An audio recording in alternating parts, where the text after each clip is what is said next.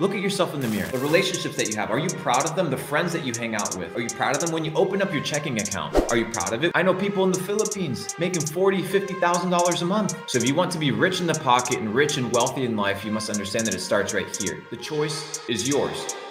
That's what I learned about life. It's all about choices. And Newton's third law teaches this. And it's the law that for every action, there's an equal and opposite reaction. That for every input, there's an output in equal proportion. And when you understand this, you understand that the elites of the world do not want you to know that you are in control. You're in control of your life, you're in control of your decisions, you're in control of your actions. And when you truly understand this, it's empowering. If not, you're gonna cower up in a corner like a bitch because you feel powerless because, oh, the news tells you something. Or, oh, there's a war halfway across the world. And how do you know it's real? Why? Because you saw some videos? Just like we saw what? The the fighter jet, what is it called? The Ghost of Kiev, the fighter jet that ended up being bullshit, right? That ended up being fake. Newton's third law explains to us a very simple principle that for every action, there's an equal and opposite reaction. What does that mean? That for everything you sow, you will reap in equal proportion. Now, what is it that we're supposed to be sowing? A lot of people don't understand that the battle that we're fighting here is not a battle, of a physical battle. It's not a battle between men It's a battle of the mind. They are after your mind. If they can control your mind, they can control you. Descartes, the famous philosopher, once said, I think, therefore I am, which tells us that we need to rewire our operating system if we want to become something else. A lot of people want to win in life, but they're using the same information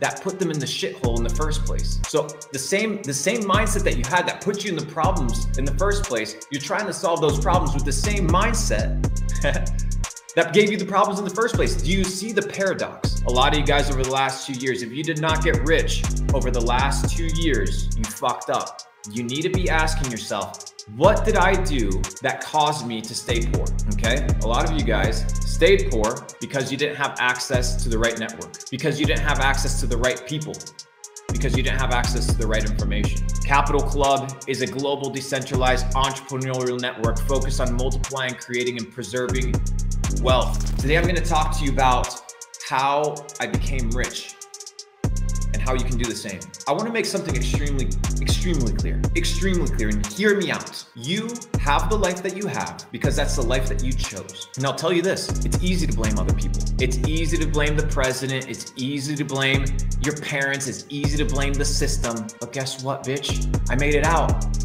And so can you. Why? Because I not only took action, but I assumed responsibility. And when you understand that for every action, there's an equal and opposite reaction, you get to understand and you have the privilege to understand, which most people will never have this conversation. Most people will never look at themselves in, in, in the mirror and guess and say, and say, you know what? I chose this life, whether I believe it or not. Look at yourself in the mirror, the way that you look.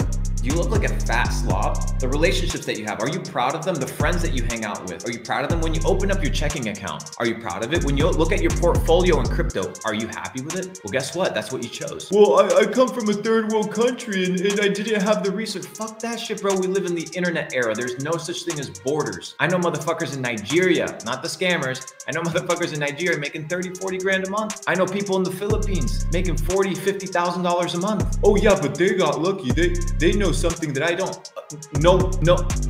No kidding, bitch. Of course they know something that you don't know. It's obvious. The question is, what do they know that you don't know and how do you get access to that information?